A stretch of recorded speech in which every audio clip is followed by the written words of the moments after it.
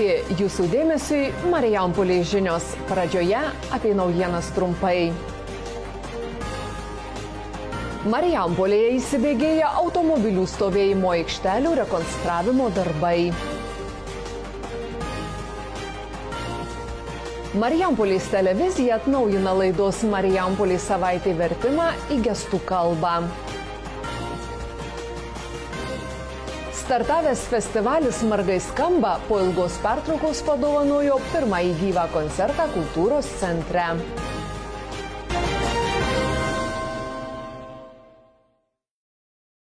Dar metų pradžioje Marijampolės savivaldybės taryba patvirtino automobilių stovėjimo aikštelių prie daugiabučių namų rekonstravimo ar įrengimo sąrašą.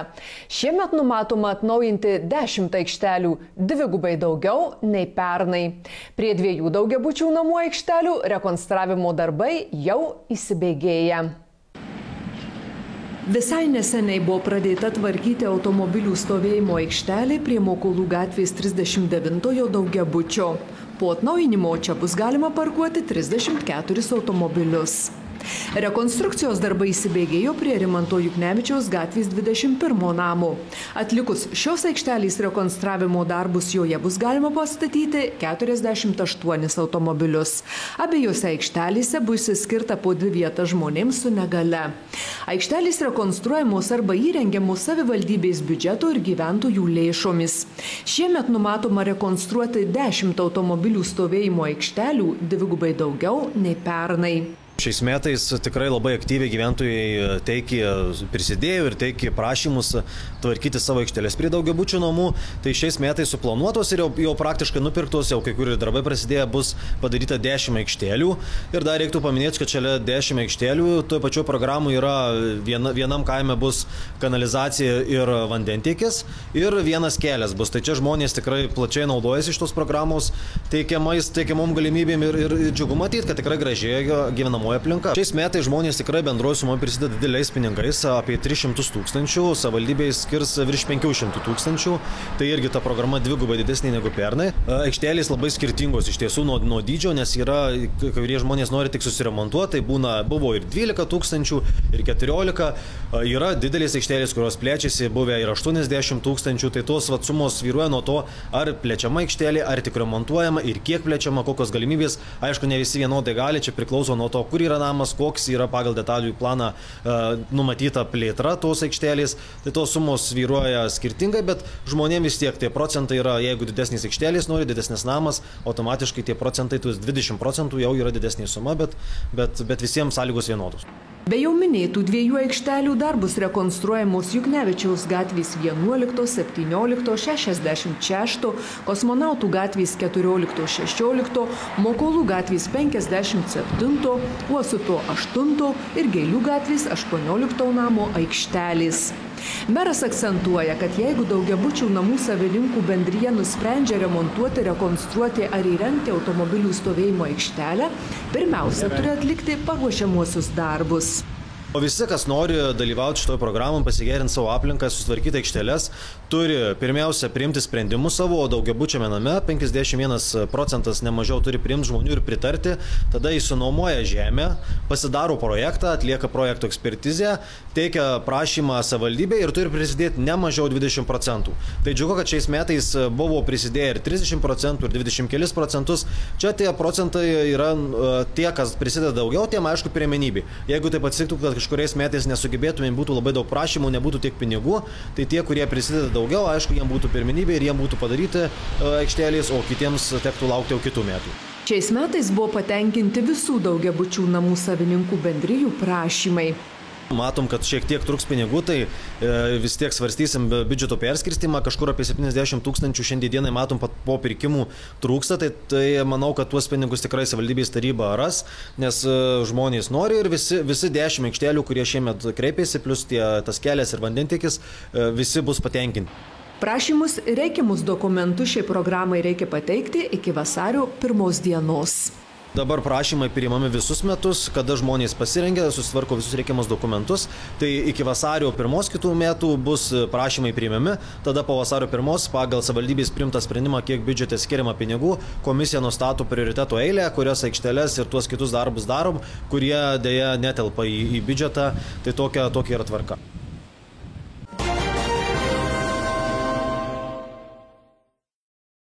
Šiandien darbą pradėjo nauja Marijampolės pirminės sveikatos priežiūros centro direktorė Dženita Sabašinskienė. Konkursas į šias pareigas vyko dar vasario 8 dieną. Jame dalyvavo vienas pretendentas. Naująją vadovę įstaigos kolektyvui pristatė Marijampolės savivaldybės meras Povilas Isoda. Jis linkėjo sėkmės ir ištvermės darbe, kolektyvos sutelktumo, nes būtent Marijampolės pirminės sveikatos priežiūros centras yra yra pagrindinė įstaiga kovoje su koronavirusu. Naujoji direktorė yra baigusi biomedicinos mokslų srities magistrantūros studijas Lietuvos sveikatos mokslų universitete. Džanita Sabašinskienė iki šiol ketverius metus vadovavo Kybartų pirminės sveikatos priežiūros centrui, todėl savivaldybės pranešimo puikiai išmano veiklos planavimo, ambulatorinių sveikatos priežiūros įstaigų administravimo, darbo santykių organizavimo ir viešųjų pirkimų specifiką. Marijampolės televizijoje atnaujinama informaciniais laidos Marijampolės savaitė vertimas į gestų kalbą. Šiuo testiniu projektu siekiama sudaryti galimybės asmenims su klausos negale integruotis į visuomenę, gauti reikalingą informaciją jiems prieinamų būdų. Marijampolės savaitė su vertimu į gestų kalbą bus transliuojama sekmadieniais. Marijampolės televizija atnaujina informacinės laidos Marijampolės savaitė vertimą į gestų kalbą. Klausos negalę turintys žmonės laidą verčiamą į gestų kalbą kviečiami žiūrėti jau šį sekmadienį 14 val. 35 minutės. Kasmet Mariampolės savivaldybės administracija organizuoja neįgaliųjų socialinės integracijos priemonių įgyvendinimą ir tai yra puikia galimybė organizacijoms įgyvendinti savo idėjas ir mintis šioje srityje. Ir labai džiaugiamės, kad projektai kai kurie yra testiniai ir labai svarbus e, visai negalę turinčių asmenų bendruomeniai. Ir vienas iš tokių projektų tai yra Mariampolės televizijos savaitinės laidos vertimas į gestų kalbą. Ir tai labai gerai atspindi neįgaliųjų socialinės integracijos programos tikslus, kadangi aplinkos pritaikymas, informacijos pateikimas negalę turintiems asmenėms jiems priimtina forma, tai yra na, tie vieni pagrindinių tikslų programos. Tai džiaugiamės, kad tokia galimybė, kaip ir kasmet ir šiemet yra užtikrinta ir klausos negalę turinti žmonės galės sužinoti uh, naujausias, aktualiausias naujienas kiekvieną savaitgalį. Marijampolės savivaldybėje gyvena apie 50 klausos negalę turinčių žmonių. Tai labai kūrybingi žmonės, labai aktyvūs ir smalsų žmonės, labai išradingi ir darbštus. Tai mes juos tikrai labai jaučiame savivaldybės gyvenime, todėl kad, tarkim, vienas iš jų projektų praėjusiu metu tai yra tai, kad jie numesgia Vilnonės koinitės kiekvienam Marijampolėje gimusiam naujagimiui ir jas padovanojo Marijampolės ligoniniai. Tai šitas projektas yra tęsiamas ir šiemet, ir šiais metais mes taip pat kursime dovanėlės naujagimiams, jie e, geba pagaminti nuostabius e, suvenyrus ir vairius daiktus iš medžio. Ir e, šie daiktai taip pat yra dovanojami kaip reprezentacinės dovanos būtent nuo Mariampolės savivaldybės svečiams ir daugybė kitų iniciatyvų. Jie labai noriai prisideda, yra aktyvus ir, ir mes labai džiaugiamės šitą bendruomenę. Socialinių paslaugų skyriaus vedėjos teigimu, ne visi klausos negalę turintys žmonės yra minėtos draugijos nariai, bet to į gestų kalbą verčiamą laidą žiūri ne tik Marijampoliečiai.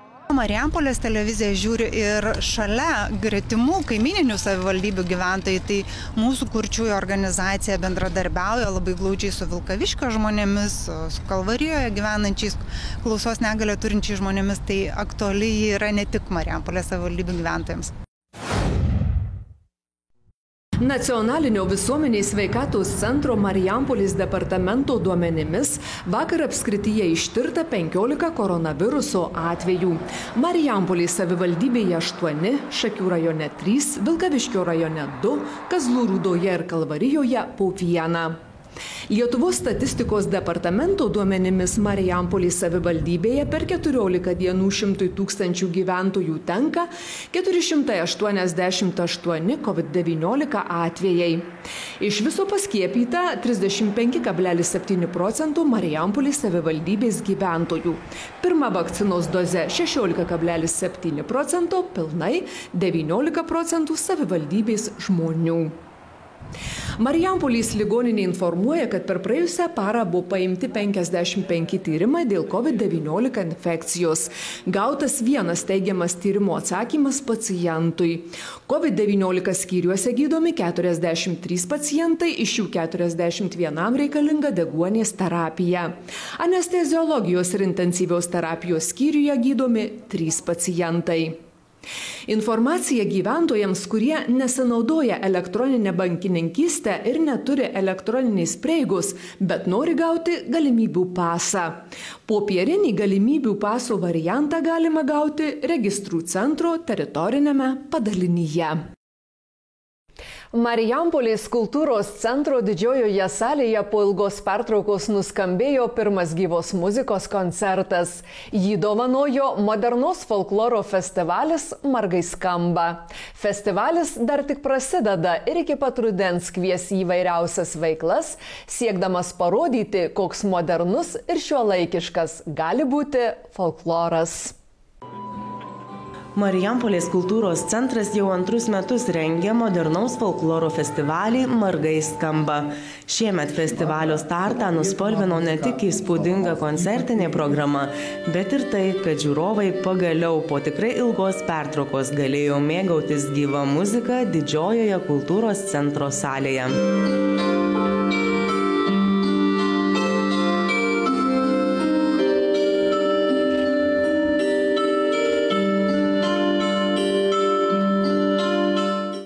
Tikrųjų mums didžiulis iššūkis ir jaudinamės, laukiam labai žiūrovų, bet patikėkit, jaudinasi ir atlikėjai, kurie yra tikrai didžiuliai, didžiuliai profesionalai. Dėl to, kad buvo tas didelis atitraukimas, mums visiems be galo reikalingi žiūrovai. Mes ne tik tai savo kuriam tą meną.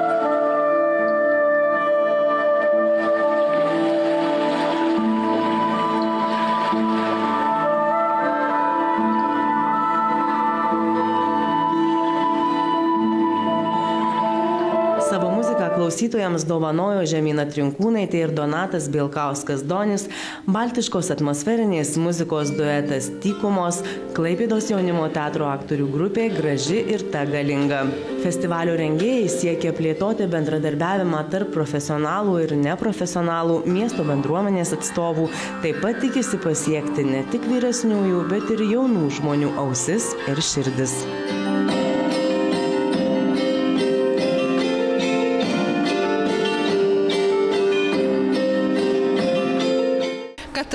Populiarintume lietuvių liaudies dainą, kad plėstųsi mūsų etnokultūros ir folkloro tradicijos, bet surandant šiuolaikiškas, patrauklias, įdomias formas ir ypatingai jaunimui. Norim paskatinti jaunimo kūrybiškumą, norim paskatinti atlikėjo e, iniciatyvas ir atlikėjo meną. Ir norim suorganizuoti stovyklas, festivalius, mokymus, kurie pritrauktų mokytojus, vadovus ir jaunimą. O įvairiausių veiklų festivalio metu tikrai netruks laukia daug šio laikiškų patrauklių mokymų pedagogams, kolektyvų vadovams, nariams, jaunimui. Labai kviesim į įvairius mokymus, tai bus ir garsų įrašų studijoje mokymai, kai jau galėsim nesispausti, kai bus neribojama erdvė. Pakviesime e, į labai įdomios lektorės Brigitos Bublytės seminarą apie balsą, apie balso galimybės.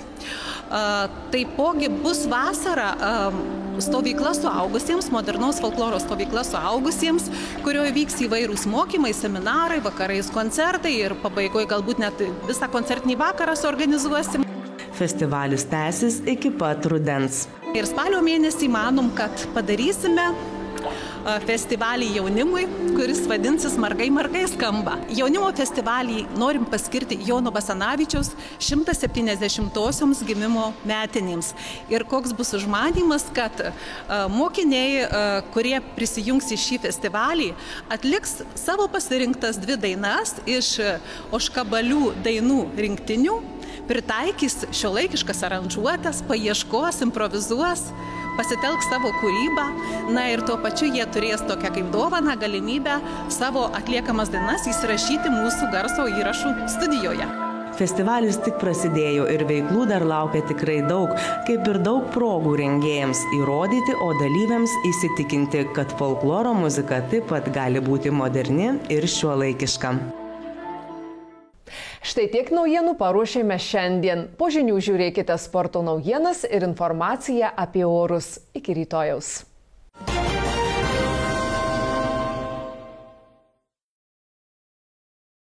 Tauragėje vykusiame Lietuvos graikų romėnų imtynių vaikų U11 čempionate savo jėgas išbandė ir jaunieji Marijampolės sporto centro auklėtiniai. Ant prizininkų pakylos lipo trys jaunieji imtynininkai. Trenerio Karolio Čiupkevičiaus auklėtiniai Domas Kerevičius iškovojęs antrąją vietą ir Dominikas Tamaliūnas užėmęs trečiąją vietą. Bei trenerio Edvardo Vaitulionio treniruojamas Lukas Karosam iškovojęs trečiąją vietą. Marijampolės sporto centro auklėtiniams buvo sėkmingas ir Lietuvos jaunimo bokso čempionatas vykęs panevežyje. Čia Marijampoliečiai iškovojo tris aukso ir vieną sidabro medalį. Trenerio Viktoro Grinevičiaus auklėtiniai Gabrielius Mačiulis ir Kamilė Pukevičiūtė kabinosi aukso medalius. Auksą taip pat iškovojo ir trenerio Kazimiero Daknio treniruojama Ema Viktorovaitė. To paties trenerio auklėtinė Milena Brazaitytė iškovojo sidabro medalį. Visų spalvų medalius Marijampolės sporto centro auklėtiniai parvežė iš Lietuvos jaunimo ir jaunučių šaškių čempionato. Jaunučių grupėje Matas Tankievičius laimėjo pirmąją vietą, Minardas Martinaitis ir Rasa Komisaraitytė trečiasias. Sportininkus treniruoja Jonas Navickas. Trenerio Vito Labučio auklėtinis Audrius Domarkas jaunimo grupėje iškovojo antrąją vietą. Audrius Domarkas taip pat dalyvavo ir Lietuvos vyrų klasikinių šaškių čempionate, kuriame tarp aukščiausio rango sporto sportininkų užėmė garbingą šeštą vietą ir įvykdė nacionalinio sporto meistro normatyvą. Marijampolės regiono neįgaliųjų sporto ir sveikatingumo klubo Šešupėlės sportininkai dalyvavo Lietuvos neįgaliųjų sporto federacijos organizuotame Lietuvos žmonių su fizinė negale ir moksleivių lengvosios atletikos čempionate Vilniuje. Moksleivis Valdas Griškelis stūmė rutulį ir metė jėtį, Eugenijus Simonaitis metė diską ir jėtį, Juozas Miliauskas metė diską ir jėtį, Egidijus Žilinskas metė jėtį ir bėgo 200 metrų ir tapo antros vietos laimėtoju. Tarp moterų varžėsi Loreta Vasiliauskenė, kuri bėgo 100 metrų distanciją ir laimėjo trečią vietą, šuolio į tolį rungtyje iškovojo antrąją vietą. Prizininkai apdovanoti Lietuvos neįgaliųjų sporto federacijos medaliais ir deplomas